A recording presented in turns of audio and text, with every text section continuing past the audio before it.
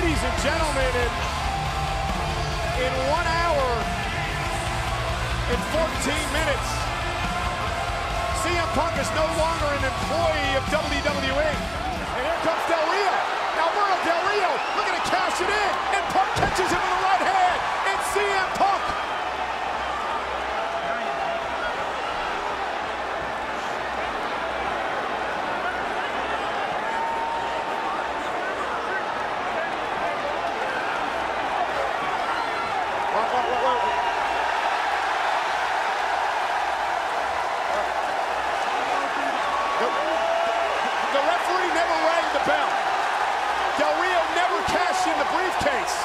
CM Punk is leaving through this hometown crowd with the WWE Championship.